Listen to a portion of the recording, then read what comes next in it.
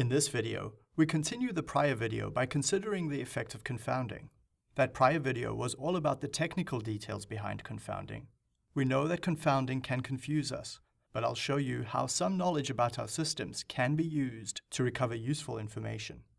But first, right at the beginning of the course, remember how I always asked you to think how each factor might impact the outcome?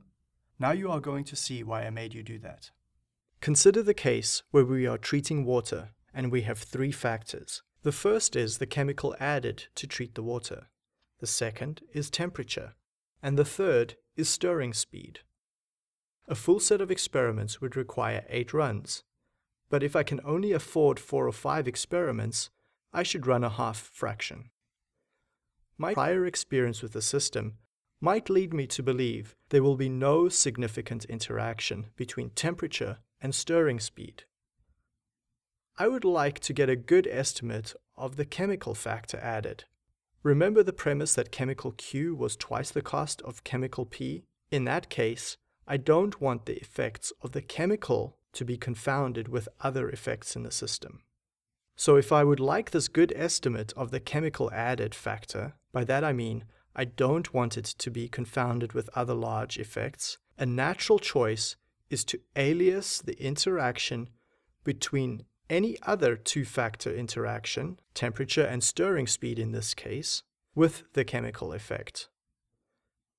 So now when I plan my experiments, I could rather assign A as the temperature, B as the stirring speed, and factor C, the chemical factor, can be set as A times B. Notice that I'm free to assign the letters to my factors in any way, and I can choose the assignment that causes the least problems given that I know confounding will occur. Now factor C, that chemical effect, will be confounded with the AB interaction. But I've used my knowledge of the system that I know that that AB interaction is going to be small, so I'm pretty sure that the effect of C, the chemical effect, will be a good estimate of that chemical effect and not be confounded with the AB interaction.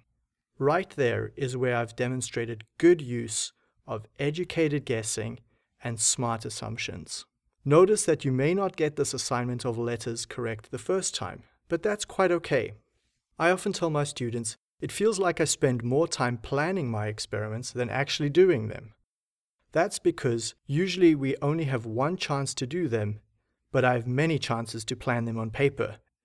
If I don't like the confounding pattern I get the first time, I can simply reassign my letters and I can do that as many times as I like until I get a desired confounding pattern.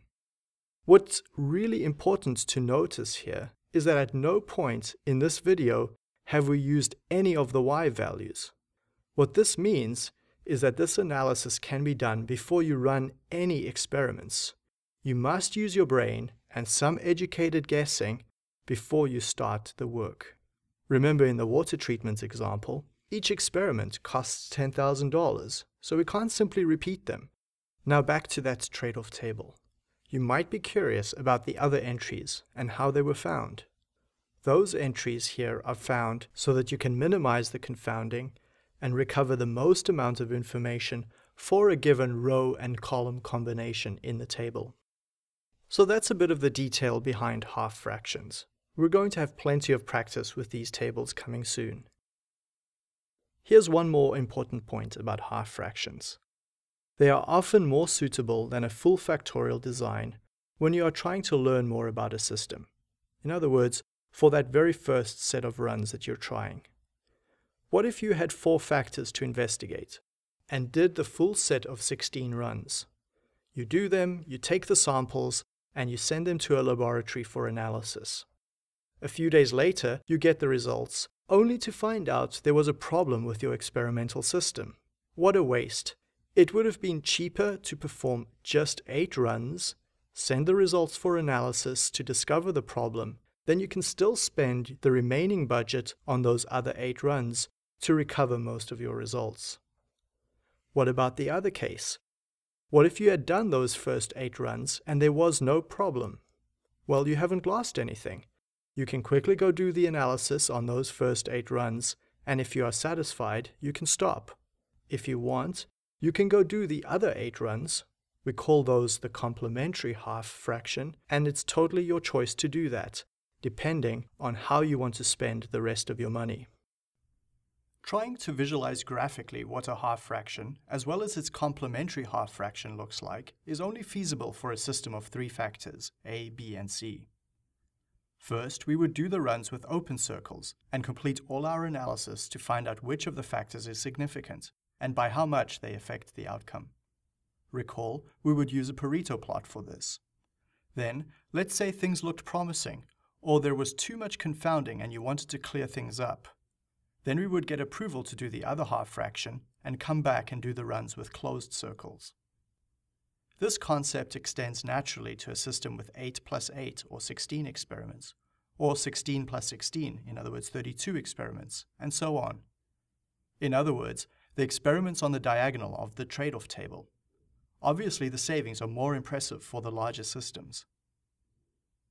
To end off, half fractions are a great example of what we call an experimental building block, a piece of work that we start with and decide to add on top of if we choose. You should be asking questions about how to use this table. Here's a suggestion. In the experimental system you've been thinking of throughout this course, consider how you would have planned a reduced set of runs for your case. How would you have used this table for your system? Make sure you can answer that.